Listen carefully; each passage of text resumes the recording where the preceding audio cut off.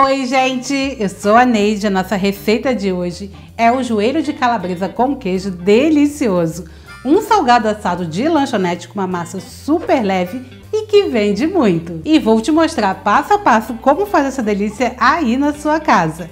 E para você não perder nenhum detalhe dessa receitinha, fica comigo até o final. E bora lá para nossa receita de hoje! E para começar a nossa receita, eu tenho aqui na minha vasilha 4 xícaras de chá de farinha de trigo sem fermento. Vou acrescentar 10 gramas de fermento biológico seco, 3 colheres de sopa de açúcar e agora eu vou misturar tudo. Lembrando daquela dica que eu sempre passo para vocês, Nunca coloque o sal diretamente em cima do fermento, porque o sal ele vai inibir a fermentação e a sua massa não vai crescer. Já está tudo bem misturadinho. Agora eu vou acrescentar meia colher de sopa de sal e vou misturar tudo novamente. Lembrando, gente, que a minha xícara tem 240 ml. Já misturei tudo novamente e agora eu vou abrir um buraquinho aqui no meio do meu trigo. Vou colocar um ovo inteiro e uma colher de sopa bem cheia de margarina. Outra dica, gente, todos os ingredientes estão em temperatura ambiente. Agora eu vou dar uma misturada nesse ovo e na margarina. Vou misturando aos poucos no trigo. Já fiz a minha misturinha e agora eu vou acrescentar 100 ml de leite e 150 ml de água. Vou misturar tudo novamente.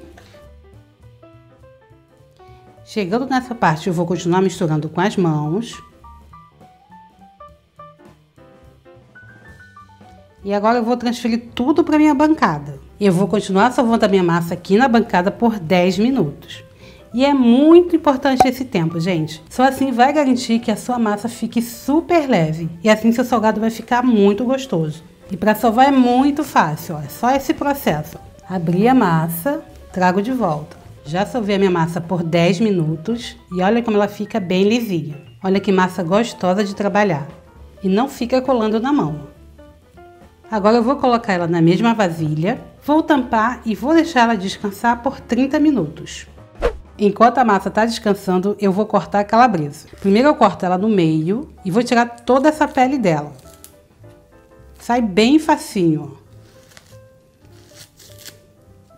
Para essa receita eu vou usar uma calabresa e meia, que vai dar umas 300 gramas. E aqui eu vou cortar ela nesse sentido, sendo que bem fininha. Tá vendo, gente? Ela tá bem fininha.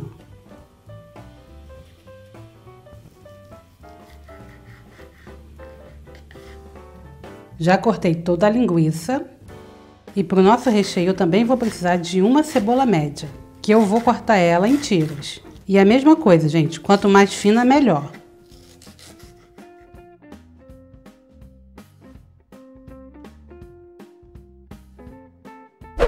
Minha massa já descansou por 30 minutos. E olha que massa linda, gente.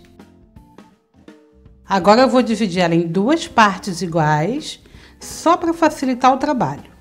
A parte que eu não vou usar agora, eu vou deixar dentro da vasilha tampada, para não ressecar. E a outra parte eu vou abrir. Vou polvilhar um pouco de trigo na bancada, para não agarrar a massa. E vou abrir o mais retangular possível.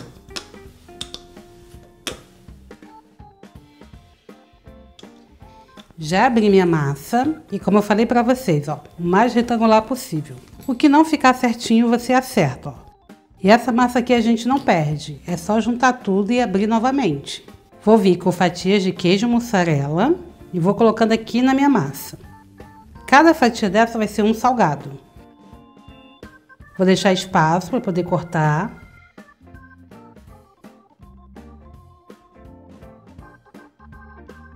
Agora eu venho com a linguiça. Vou arrumando em cima da fatia de queijo. Cada um vai ficar assim, com três fatias de linguiça.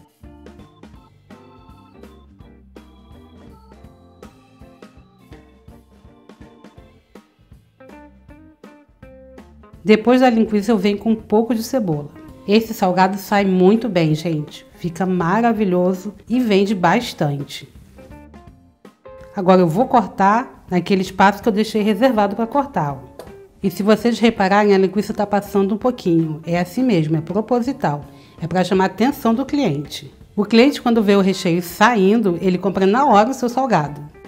Aqui eu venho com o queijo e jogo para cima da linguiça e da cebola. E por último venho com a minha massa. E aí eu vou enrolando.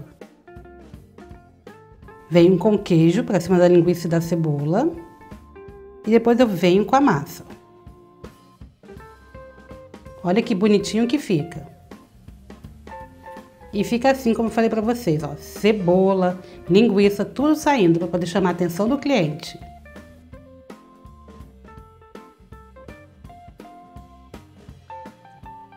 E essa parte aqui embaixo vai ficar na parte do fundo do tabuleiro. O meu tabuleiro eu só vou untar somente com óleo. Coloco um pouco de óleo e espalho com a ajuda do pincel. E não precisa ser muito não, gente. É só para deixar assim, ó, uma camada bem fina de óleo. Como eu falei para vocês, a parte de baixo vai ficar no fundo do tabuleiro. Agora eu vou arrumar um do lado do outro, deixando espaço porque ele ainda vai crescer. Lembrando que deixar espaço aqui também, ó. E se você quiser congelar ele cru, é nesse momento. Acabou de modelar, não deixa fermentar, já leva para congelar. Já modelei todos os salgados e agora eu vou tampar com um paninho e vou esperar ele crescer por 40 minutos. O salgado já cresceu por 40 minutos e olha como ele fica lindo. Cresce bastante. Agora eu vou bater uma gema com um pouquinho de óleo. Essa gema com óleo vai deixar o seu salgado bem dourado e bonito. Já está tudo bem batidinho. E agora é só pincelar cada salgado.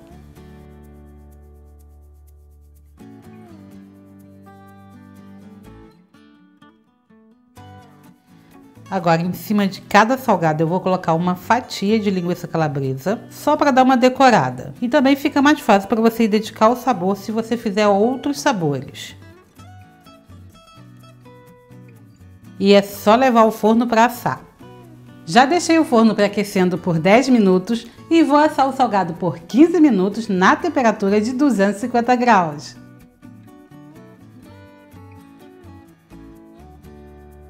O salgado já ficou pronto e agora eu vou te mostrar como ficou essa delícia. E olha que lindo que ele ficou. E se você quiser congelar ele já assado, é só esperar esfriar e levar ao congelador. E olha essa maravilha, gente. Esse salgado é tudo de bom. Fica com a massinha super leve e fica muito saboroso. Olha que maravilha. Olha esse queijinho.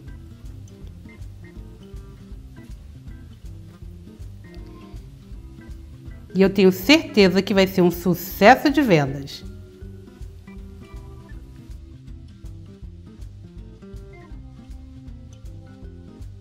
E agora vamos ao custo total da receita. Eu gastei para fazer toda essa receita 20 reais. Renderam 10 unidades. Então 20 reais dividido por 10 cada um vai sair a R$ reais. A sugestão de venda é R$ reais. E a validade desse salgado é 30 dias no congelador e 90 no freezer. Lembrando que o valor de custo é de acordo com o que eu paguei aqui na minha cidade. Pode ser que na sua cidade seja um pouquinho mais caro ou um pouquinho mais barato. E espero que você tenha gostado da nossa receita de hoje. E se você gostou, já deixa o seu joinha porque isso ajuda muito o nosso canal. E para você não perder nenhuma receita maravilhosa como essa, é só clicar no botãozinho vermelho aqui embaixo para se inscrever. E aqui na tela está deixando dois vídeos para você escolher o próximo que você quer ver. Bom, eu fico por aqui e te vejo no próximo vídeo. Um beijo a todos e tchau!